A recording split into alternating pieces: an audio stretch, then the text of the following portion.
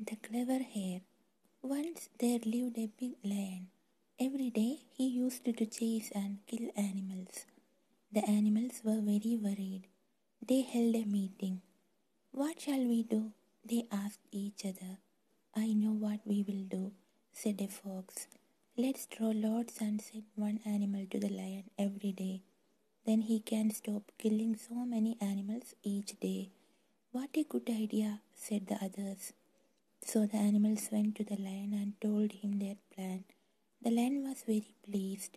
He agreed at once. So every day the animals sent one animal to the lion. One day it was the hare's turn. As he walked on slowly, he thought, How can I get rid of the lion? Just then he saw a well. He could see his reflection in it. He now had an idea. He went to the lion and said, I am sorry, I am late, but there is another lion in the jungle. He wanted to eat me. When I told him about you, he said he was the king of the jungle. He said that, said the lion angrily. Yes, he did, said the hare, and he wanted to fight you. Is that so? shouted the lion. Take me to him. I will fight him. I will show him who the king of the jungle is.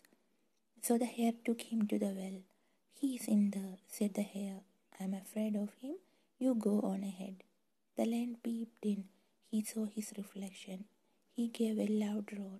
The roar echoed back from the well. The lion thought that it was another lion.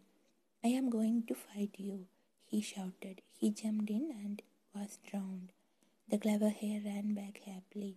How pleased the other animals were. What a clever hare you are, they cried. You have saved our lives. Moral A clever person can overcome a more powerful one.